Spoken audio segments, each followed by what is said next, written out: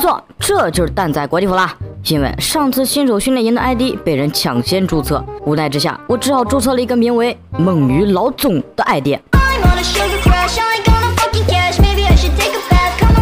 办国际服的原因呢，很简单，因为迟迟没能等到正式服的法拉第返场，却等来了国际服的上架，而且还是砸金蛋抽奖获取的。要知道，九次内必得，五十八个闪耀币不到就能拿下。啊，这里说一下啊，国际服的闪耀币就等同于我们正式服的彩虹币啦。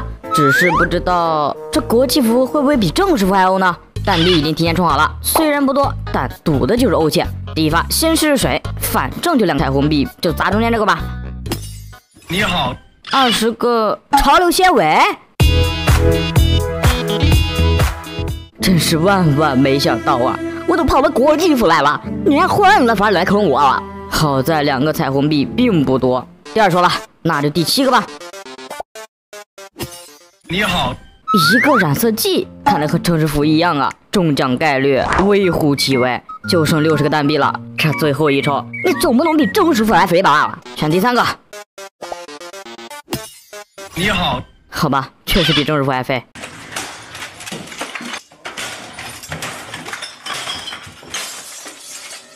充蛋币，哈哈哈哈哈哈！没错，那个男人他又回来了。这回继续来抽我们的第四抽。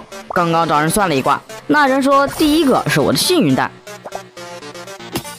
你好，好吧，并不是。其实是最后一个，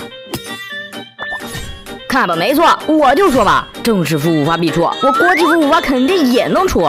哎，你他娘的还真是个天才！虽然这回国际服也算是保底了，但是这款皮肤却弥补了我正式服没有这个蛋的缺陷，在某种意义上也算是赚了啊。有道理，打死都不承认自己是飞球。